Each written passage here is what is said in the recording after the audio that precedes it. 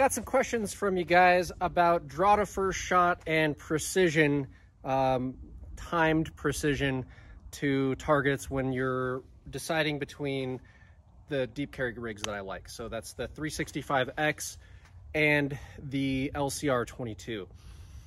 So rather than just talk about it, we're just gonna measure it right now.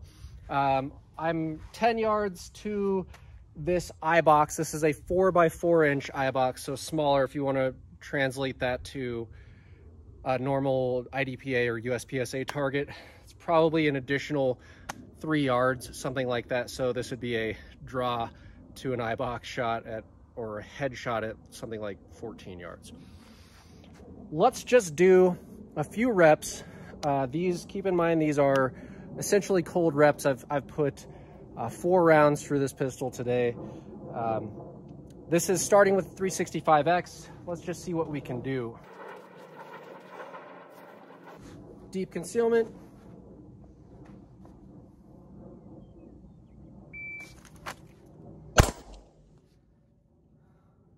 That is in the bottom left of that square. So uh, right where the, the head meets the shoulder. It's a four by four inch square, so it's absolutely good as far as a headshot is. That is a 167. Stage that you can see I'm getting it covered up.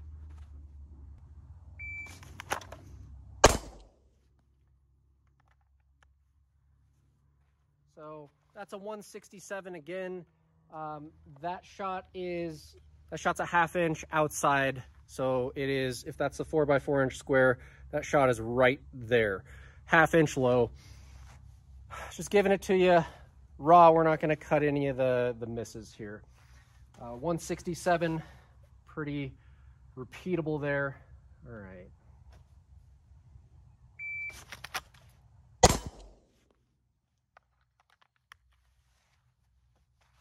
Felt like I was taking my time more there, but again, that is uh, that is a 167.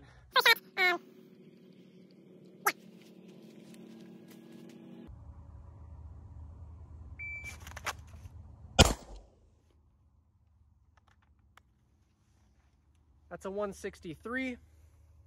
Having some timer errors here. I know my battery's about to die, but you can see it's recording a 0.01 first shot, and then the second shot is a 163.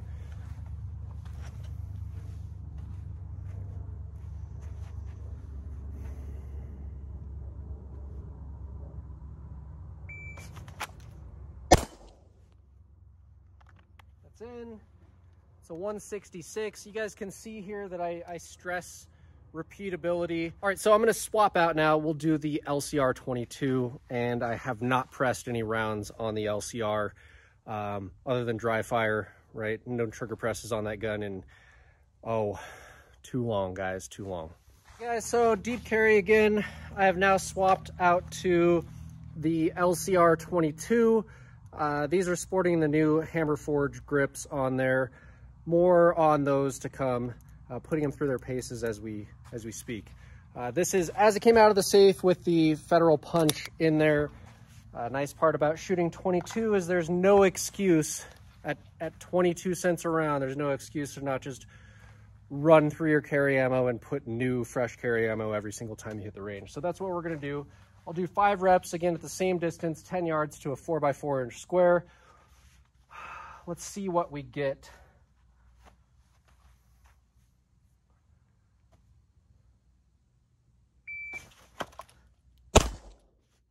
Okay, that's in.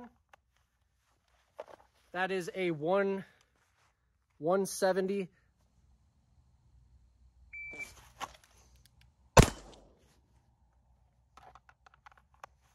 Really took my time there uh, to ensure that's that's a shot and that's still right in that that bottom half of that four by four inch square.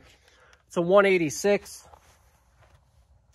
If you guys go through that, you can slow it down. You can see me actually slowly roll through that press rather than my normal smash.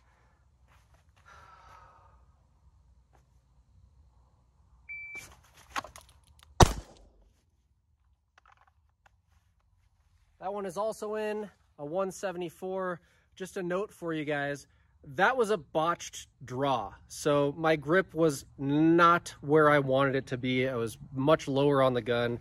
In the footage, you should be able to see that. 174 to that eye shot still.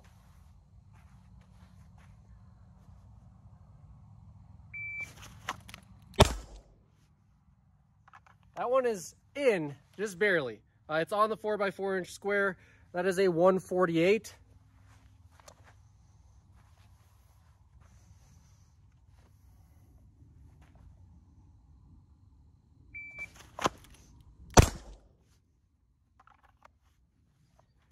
There's a 165.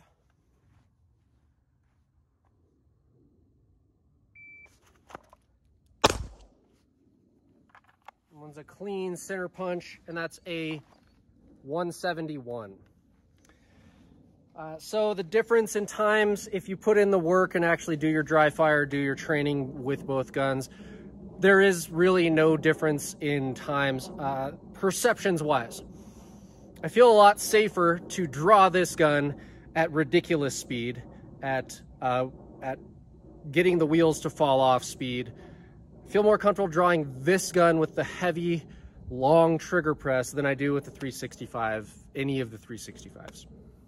Yeah, um, a lot more margin for error there on the shooter's part. So yeah, there it is. Uh, you can see here, dots are awesome. They help, but they aren't really the thing that allows you to make these shots. Uh, doing the work on the range and doing the work in dry fire is what gets you the speed and precision. There it is, guys. As always, thank you for watching. Like, subscribe, hit all the buttons. Uh, go on a Patreon if you want more in-depth content and you want to you want to actually message back and forth with me. Uh, check me out on demonstratedconcepts.com if you want to do one-on-one -on -one virtual sessions um, or you want to come out to one of the many classes. I'm traveling around the U.S. Uh, we've got a imperceptible handgun class coming up in August. Uh, that is a class where you can come. I will go through all of the Enigma rig, how I run it, um, how it sits on the body, how to conceal it best, how to access that deep carry draw with a high level of repeatability uh, for speed and precision. Thank you guys. Keep training, stay safe.